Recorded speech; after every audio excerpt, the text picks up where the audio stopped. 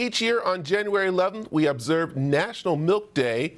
And to celebrate the creamy qualities of real dairy milk, joining us today is cook Jocelyn Delk Adams, who is teaming up with Lactaid to share some special recipes for everyone in the family, including those who are lactose, into lactose intolerant.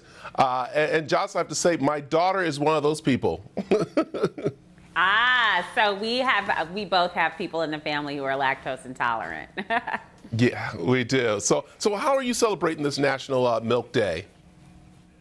Well, today I've got some incredible recipes, sweet and savory, that I've made with Lactaid, which is 100% real milk just without the lactose and without artificial growth hormones. So the entire family can enjoy these.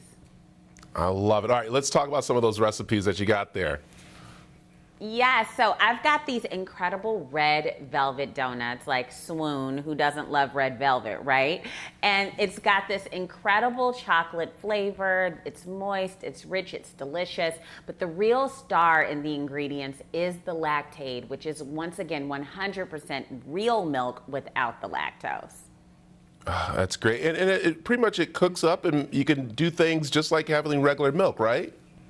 Absolutely. This is not an alternative milk where you have to wonder if you're going to still get those rich and delicious qualities.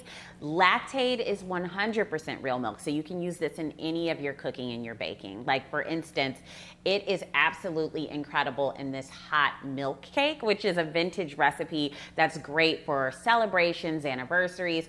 I know I love to serve this to my family members who are lactose intolerant, and they don't have to worry about any of that stomach discomfort after eating a slice of it.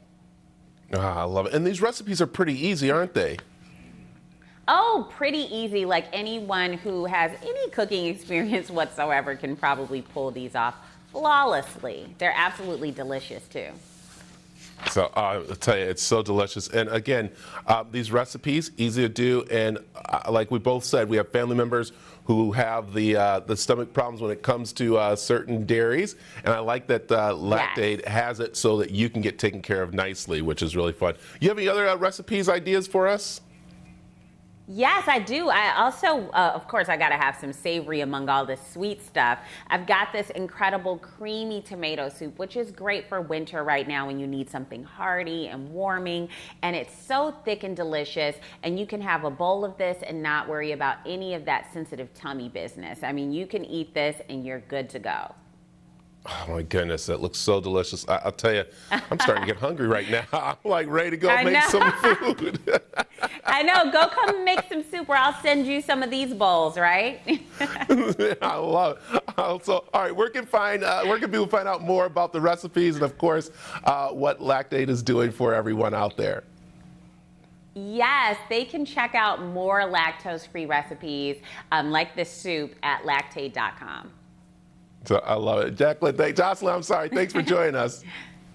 Thank you so much for having me.